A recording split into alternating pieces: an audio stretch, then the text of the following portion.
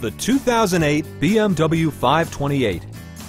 This four-door, five-passenger sedan has not yet reached the 50,000-mile mark. It features an automatic transmission, rear-wheel drive, and a 3-liter six-cylinder engine. Top features include front bucket seats, power front seats, heated door mirrors, remote keyless entry, and power windows. For drivers who enjoy the natural environment, a power moonroof allows an infusion of fresh air.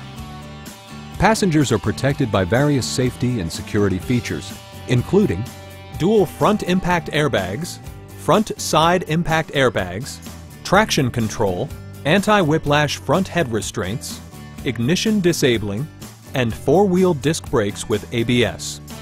You'll never lose visibility with rain-sensing wipers, which activate automatically when the drops start to fall. A Carfax history report indicates just one previous owner.